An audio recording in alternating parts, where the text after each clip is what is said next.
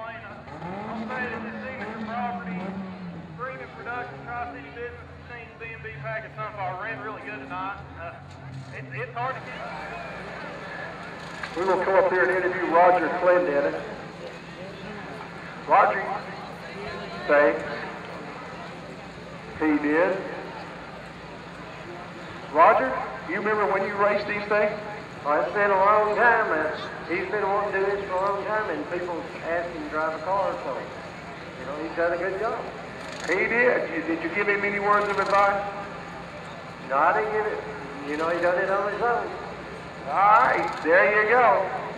Uh, the old man, when you any? He don't. He don't. Okay. He don't help you at all. Huh? All right, Mr. Clinton, tell us about your race. Uh, first off, I want to thank Kenny Adams for being nice enough to let me drive his car. Uh, I want to thank my beautiful wife. Bass. Is that right this time? What did you get wrong? I called her Elizabeth Black Lieutenant Coburn.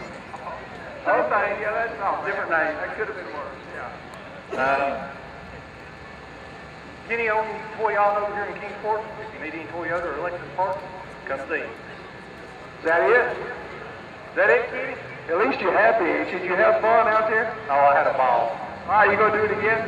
I'm gonna try my best as long as Kenny keeps letting me drive. All right, there you go. All right, race fans. Good show here tonight at the Kingsport Speedway.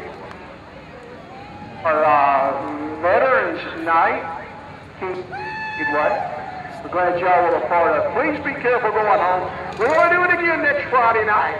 Forecast said it's going to be sunny and 75 degrees, so you're going to want to be here. See you next week. God bless you.